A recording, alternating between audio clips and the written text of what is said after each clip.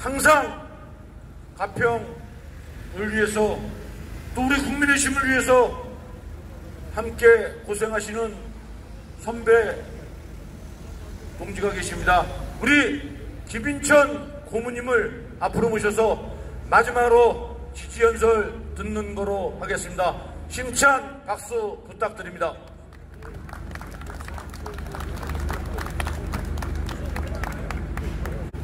추신 날씨에도 이렇게 우리 윤석열 후보를 지지해 주시기 위해서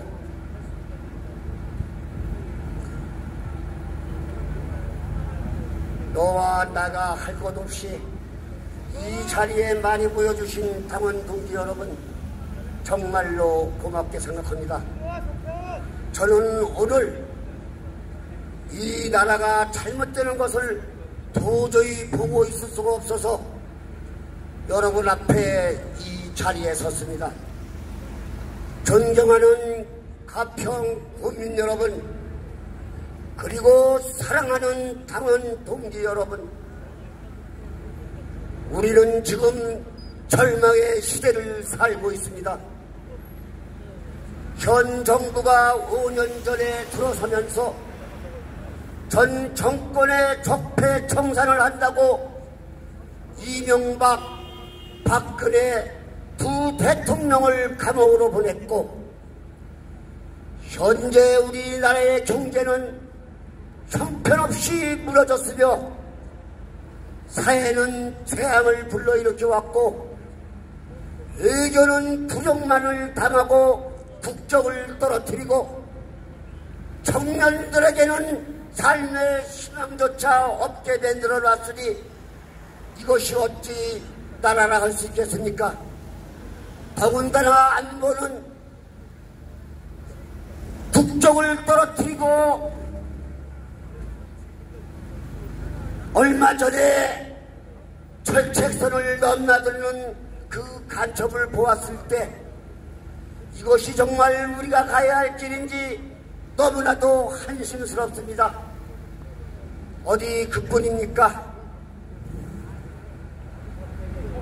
미사일은 물론이고 요즘의 핵 개발은 물론이고 얼마 전에는 미사일 개발을 해서 성능 실험을 한다고 최근에만 일곱 번을 미사일을 쏘아 올리지 않았습니까? 그 광경을 보면서도 우리 문재인 정부와 청와대에서는 북한 김정은에 대해서 말 한마디 못하고 있습니다.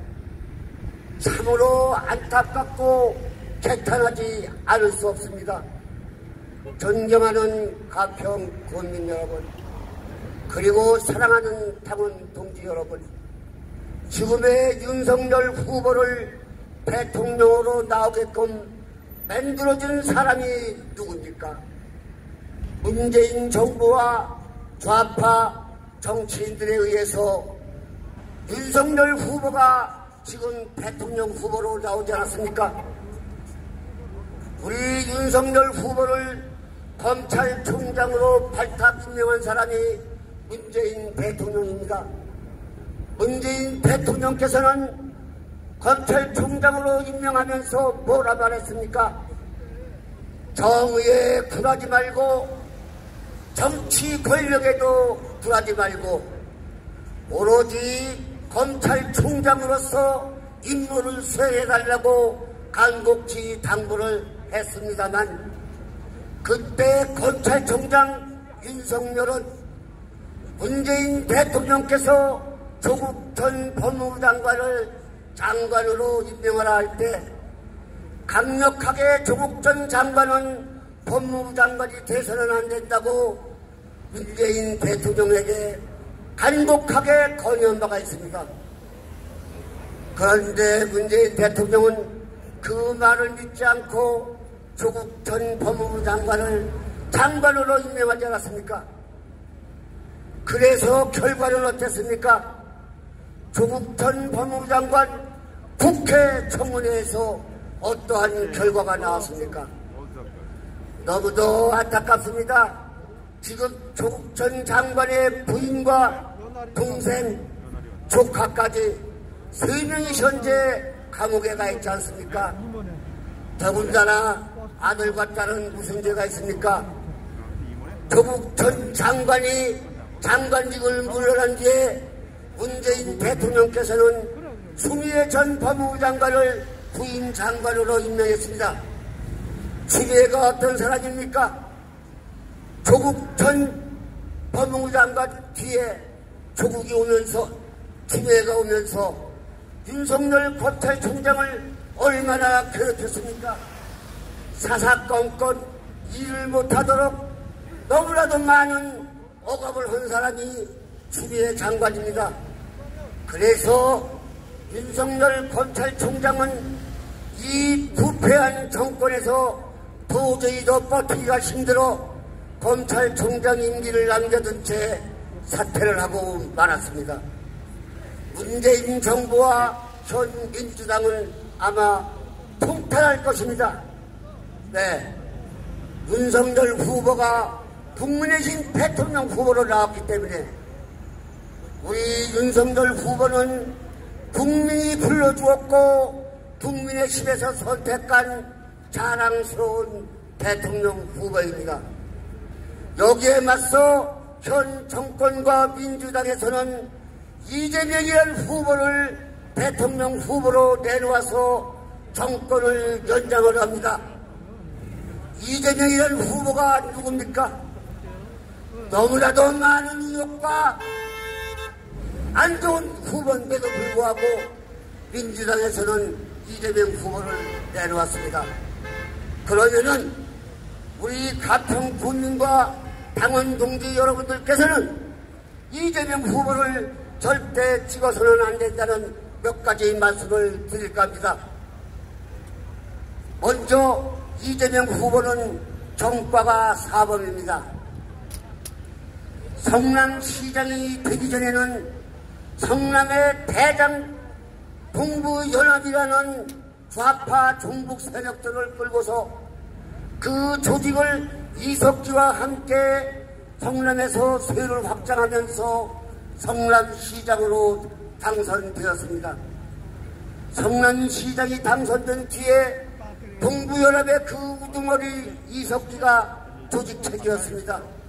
그 이석기는 국가보안법 위반으로 감옥에 가 있다가 지난번 박근혜 대통령 사명과 함께 형기를 남겨둔 채 감옥에서 빼내준 이석기입니다. 그리고 여러분들이 잘 아시는 성남의 대장동 사업이 있죠. 성남의 대장동 사업은 문재인 이재명 후보가 자기가 설계하고 자기가 결제한 사업이라며 단군 일에 최대의 공익 사업으로 최대의 많은 수익을 올렸다며 자랑을 얼마나 많이 했습니까?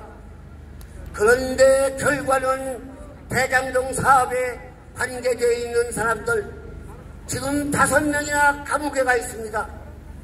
한편 대장동 사업 업무를 실제 담당했던 유한기와 김문기 두 사람이 자살을 하였고 이재명 후보 변호사비 대납 의혹을 제기했던 사람과 대장동 사업을 일찍 취재했던 시사전을 한 기자가 이 세상 사람이 아닌 운명을 달리했습니다.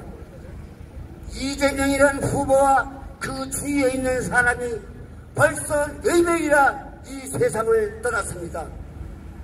어찌 이재명 후보는 이 세상을 떠난 네 사람에게 말 한마디도 안 하고 있습니다.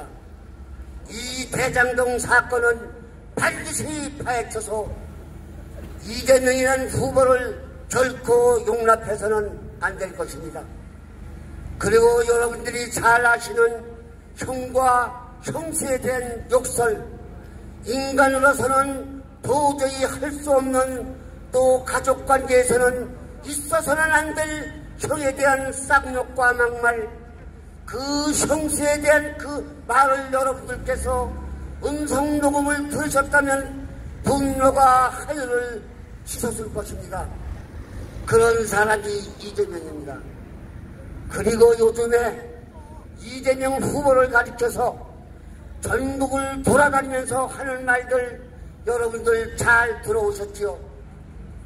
어저께 한 말 오늘 다르고 경상도에 가서 한 말 전라도가 가면 바꾸고 얼마 전에 대구에 가서 박근혜 대통령님을 존경한다고 말하더니 신문 기자들이 과연 박근혜 대통령님을 존경합니까?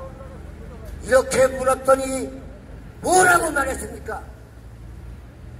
내가 박근혜 대통령을 존경한다 했더니 정말로 존경하는 줄 알더라. 이게 말입니까?